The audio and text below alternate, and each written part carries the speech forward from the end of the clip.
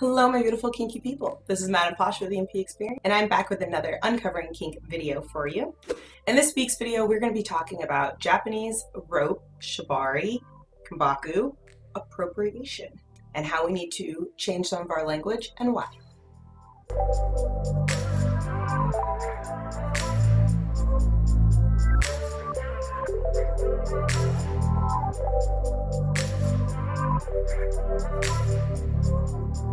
This is your first time watching a video on my channel, my name is Madame Posh. I am an educator, femdom, and kink event producer, as well as lifestyle coach out of Dallas, Texas.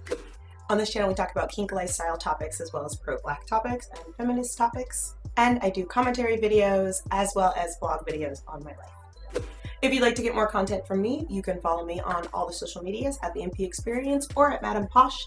And you can check out my website at the MP Experience or at Patreon at the MP Experience to support me and get more content that I can't put on YouTube or Instagram. All right, now let's get into the video. This video was inspired by a friend and fellow educator within the kink community by the name of Sage. She is callme.sage on Instagram, and you can go watch her entire hour live stream on culture appropriation, specifically on Japanese rope bondage. I say this because it's really important that we recognize power in this situation it's not just about, right, taking from someone else's culture. It's not just about that. It is absolutely about that, but that's not it. It is also about then having the power, right, to make that thing accepted or not accepted in spaces. So you get to play Russian roulette, pick the thing that you want with identities and cultures and things that you like without realizing that you are able to do that because you are in a position of power. Because you get to decide as a white person what is acceptable and what is not acceptable. And other white people will listen to you. And so, this is why I think it's so important that we talk about our individual roles in these conversations and in this fight because even if you don't think you're making a difference, even if you're not doing something on a systemic scale, even if you're not doing something that involves tons of other people and other groups and organizations, you have a responsibility to the rest of the community to know your role and where power and privilege shows up for you and how to dismantle that for yourself and for those around you as much as possible. Because we are all prisoners to these systems all of us. But she has a good foundation of understanding exactly what culture appropriation is and really spelling it out so even our fellow white allies can understand that whether they've done it consciously or not, we have all appropriated some sort of culture. So although you can totally get something from this video without watching her live, I highly, highly, highly, highly, highly, highly suggest that you go watch that hour of a live. Put it on in the background, you can just listen to it, She's also a very beautiful human, and so it won't hurt you to watch her gorgeous face educate you on some stuff, okay? They also go by she, they, and he pronouns. Just so you're aware if you happen to reach out to them. And they did give me consent to share some of their audio in this video and to talk about this topic in a way in which I was inspired to from her video. One thing I was really uh, relieved about as I was watching her video is that a lot of the things that she was mentioning, I had already been kind of questioning within our community of why we call things certain things and uh, why all these cishet white men are critiquing me about Japanese culture. But I didn't feel like I had any space to vent that since I was being critiqued so heavily by all of these cishet white male riggers. So uh, it was very validating for myself that, like, hey, these things that I was already kind of concerned about and thought was appropriation and did not want to do and did out of the ignorance of being taught by these cishet white men, I'm glad to know that those concerns were valid and uh, where I still have some improvements to make as far as changing my language and uh, and how I promote certain things. I was not as far off the mark as a lot of, I'm sorry, but the rest of people in the community. So please go check out any of the YouTube channels that I normally suggest about videos about appropriation. There's tons of videos out about appropriation right now if you don't know what it is. Basically, when you take an oppressed people's culture and you are able to uh, benefit or profit off of it. And it really, again, comes down to ownership and how you are profiting off of it. A great example that most people are aware of is uh, the Kardashian Jenner family.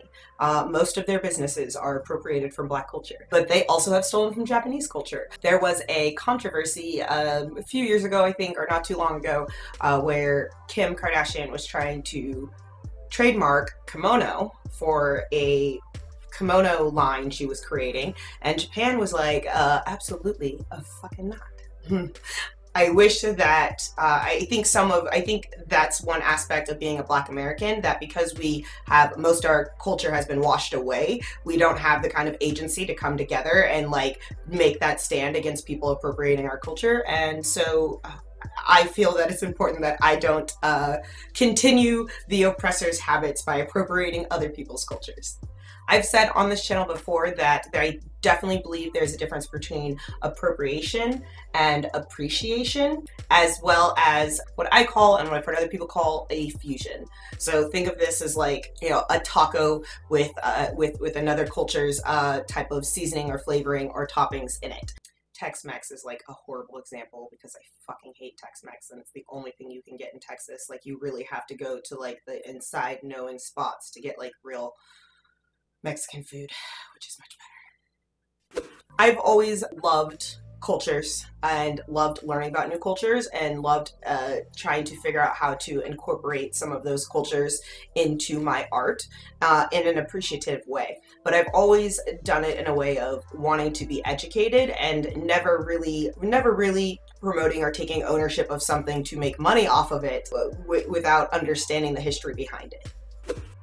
So I definitely think that you can appreciate someone else's culture and participate in someone else's culture without appropriating it. But that does require time and education and really understanding and sometimes even the blessing or or the permission of of elders or people who are ex- respected in that culture or that social group.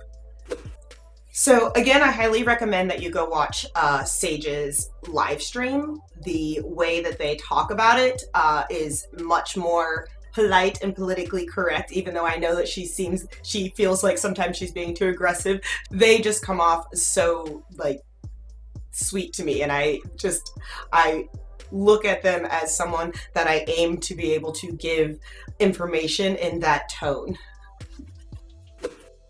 but for this video, I'm gonna give it to you straight, okay? I'm gonna give it to you straight. So let's start out with one of the questions that she asked on her live stream, which is if you are into shibari, kinbaku, rope bondage, you tie in some way, and you've been going to education on a consistent basis, how many culture or Japanese history or shibari history classes have you been to?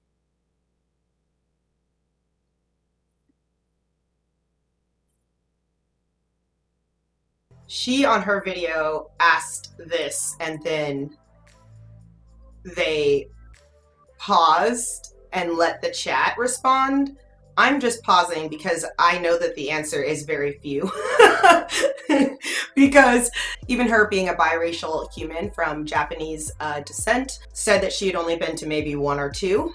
I again felt really blessed when I was watching this because I have actually been to five and I have been able to get a foundational history of, uh, of, of Japanese shibari and kinbaku from someone from Japan. And I had to have it translated because she only spoke Japanese. So it was very much a, a very honored blessing that I had that opportunity. And as they were talking about this on their live stream, I definitely was like, oh, I didn't realize how much of a blessing it was. And also, still need more than five. I will admit, I really love learning about history and culture. So I have been I, I sought those out. I, you know, there were maybe other classes during a, a convention period or a time that I could have gone to, but I really sought those out and made sure I was in those classes and have been very hungry to learn more about the actual history and culture uh, uh, behind Shibari and Kinbaku, and just have not had enough resources, to be honest. I have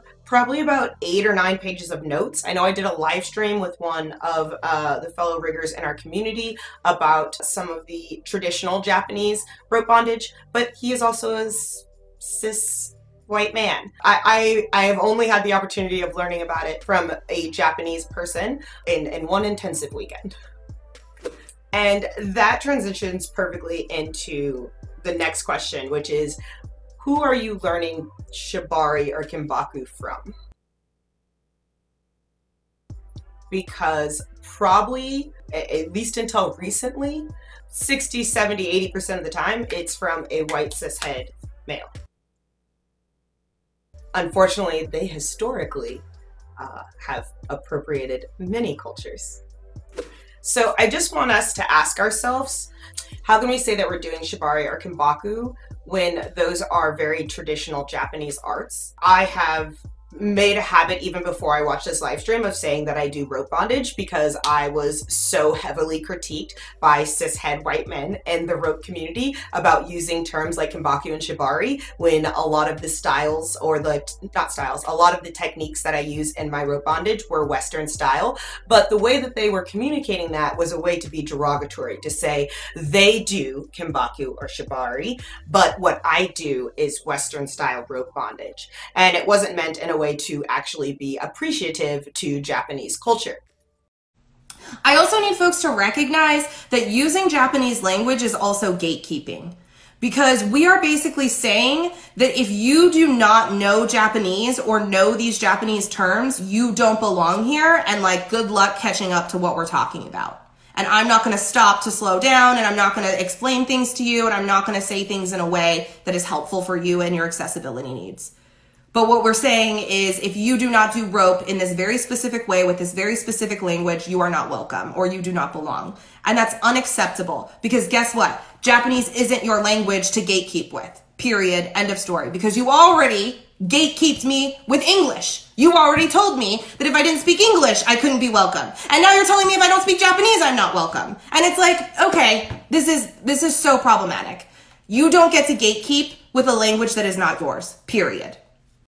Now, I've also met, met some cishet white men who have spent the money keeping money and had the time and resources to go to Japan and actually learn from a Japanese rope master and have been given a Japanese name and told to basically come back to America and start a dojo. That is again a different situation. It's a little bit different situation when someone has like bestowed upon you the honor of that, but at the core of it, it still is an opportunity you got because you had the money and the time to go to Japan for two or three months to learn from this person and most oftentimes even filtering down from like who they taught to who is teaching you we are still learning from their perspectives and their knowledge and not learning directly again from the masters or from japanese people. And that's totally okay.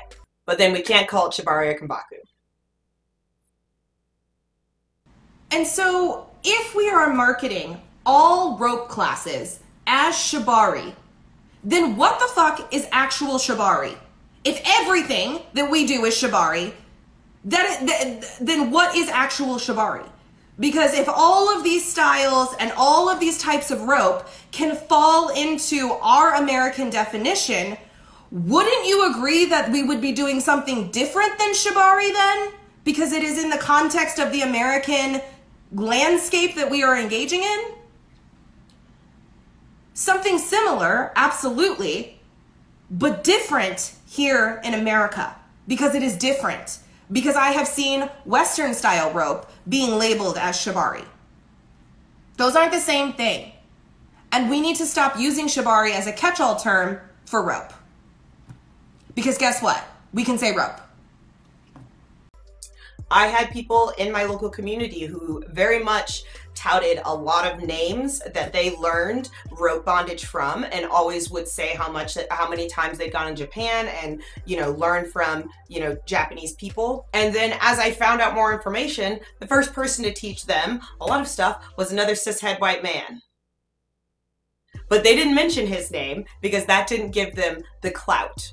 That didn't give them the esteem or the or make them look better right? And so